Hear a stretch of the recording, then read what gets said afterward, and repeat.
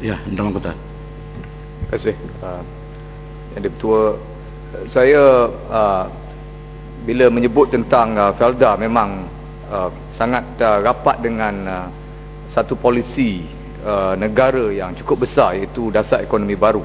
Kerana ini telah uh, mencipta satu kata harapan baru kepada orang Melayu dan Putra.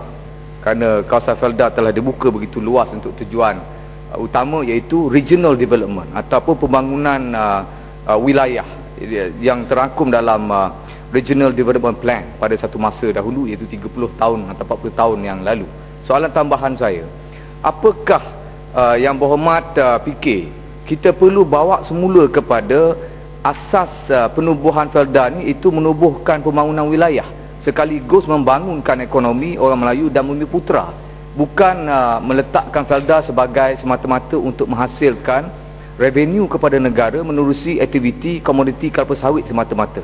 Dan uh, saya rasa sekiranya uh, perkara ni dibawa semula saya rasa isu-isu berkenaan membawa kes ke mahkamah oleh penoka-penoka Felda tak akan berlaku.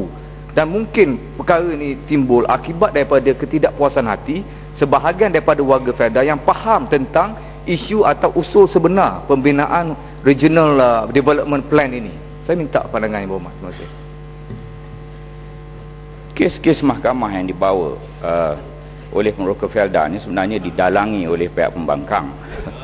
Ha, itu dia.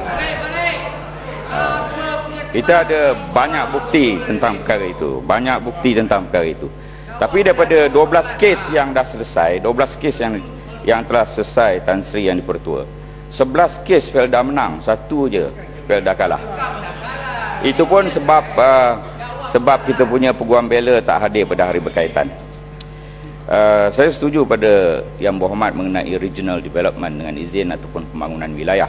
Itu sebab 317 kawasan rancangan ini kita bagi pada 11 wilayah daripada Perlis sampailah ke ke Sahabat uh, di Sabah.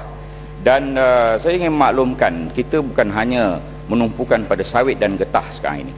Di bawah Perdana Menteri selaku Menteri Felda, uh, Felda sekarang ini telah beralih bukan hanya getah dan sawit tetapi sekarang ini menguasai perniagaan gula 70% daripada bekalan gula dalam negara.